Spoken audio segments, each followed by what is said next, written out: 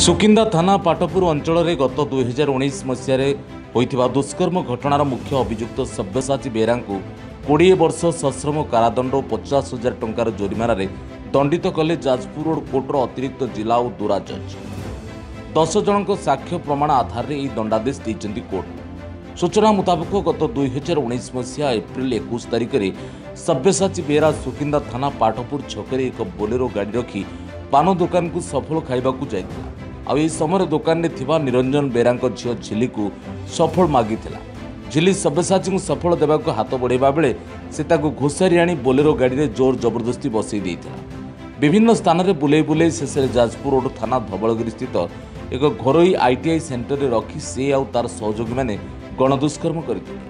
ଏହି ଘଟଣାର ଆଜି ଯାଜପୁର ରୋଡ୍ କୋର୍ଟର ଅତିରିକ୍ତ ଜିଲ୍ଲା ଓ ଦୋରା ଜଜ୍ ମାନସ ପଣ୍ଡା ଶୁଣାଣି କରିଛନ୍ତି।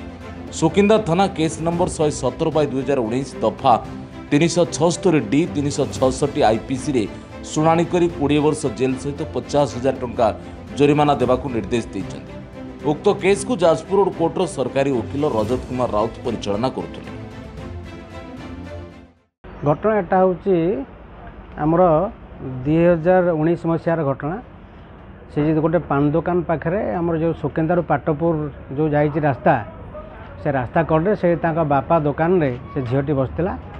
ଏବଂ ସେ ଝିଅଟିକି ଏବେ ଯେଉଁ ଆମର ଆକ୍ୟୁଜ୍ ସବ୍ୟସାଚୀ ବେହେରା ସେ ଗୁଟକା ମାଗିବା ଏ ଯେଉଁ ସଫଲ ମାଗିବା ବାହାନାରେ ତାକୁ ଆଣିଲା ବେଳେ ତାକୁ ନେଇକି ତା ବୋଲେରୋ ଭିତରେ ବସେଇକି ତାକୁ ସେ ଟାଣି ନେଇ ପଳେଇଲେ ଏବଂ ତାକୁ ଧମକେଇକି ନେଇକି ସେ ଧବଳଗିରିର ଗୋଟେ ଆଇ ଟି ଆଇ ଭିତରେ ତାକୁ ସେମାନେ ଧର୍ଷଣ କଲେ। ତାଙ୍କ ସାଙ୍ଗରେ ଆଉ ଜଣେ ଥିଲେ ସେମାନେ ଧର୍ଷଣ କଲେ। ଏବଂ ଆମର ଏ ମାନ୍ୟବର ଅଦାଲତ ସେଥିରୁ ଦଶ ଜଣ ସାକ୍ଷୀ ନେଇ ସାକ୍ଷୀଙ୍କର ବୟାନ ନେଇକି ତାଙ୍କ ବାପା ଯେଉଁ ଏତଲା ଦେଇଥିଲେ ଏବଂ ସେ ତାଙ୍କର ଷ୍ଟେଟମେଣ୍ଟ ରେକର୍ଡ଼ ହେଲା ପରେ ସାକ୍ଷୀମାନଙ୍କର ବୟାନ ନେଇକି ଆଜି ମାନ୍ୟବର ଅଦାଲତ ଆମର ଯେଉଁ ସ୍ପେଶାଲ ଜଜ୍ ଶ୍ରୀଯୁକ୍ତ ମାନସ କୁମାର ପଣ୍ଡା ସେ ଏଠି ଆମର ସେ ଯେଉଁ ଆକ୍ୟୁଜ୍ଡକୁ ଦେଇଛନ୍ତି ତିନିଶହ ଛଅଷଠି ଦଫାରେ ପାଞ୍ଚ ବର୍ଷ ଜେଲ୍ ଏବଂ ଦଶ ହଜାର ଟଙ୍କା ଜୋରିମାନା ଏବଂ ତିନିଶହ ଛଅସ୍ତରୀ ଡି ଦଫାରେ ଏ, ତାକୁ କୋଡ଼ିଏ ବର୍ଷ ଜେଲ୍ ଏବଂ ପଚାଶ ହଜାର ଟଙ୍କା ଜୋରିମାନା ଏବଂ ଏଇ ଯେଉଁ ଜୋରିମାନାଟା ଆଦାୟ ହେବ ସେ ପଇସାଟି ତା ସେ ଝିଅକୁ କ୍ଷତିପୂରଣ ହିସାବରେ ଦିଆହେବ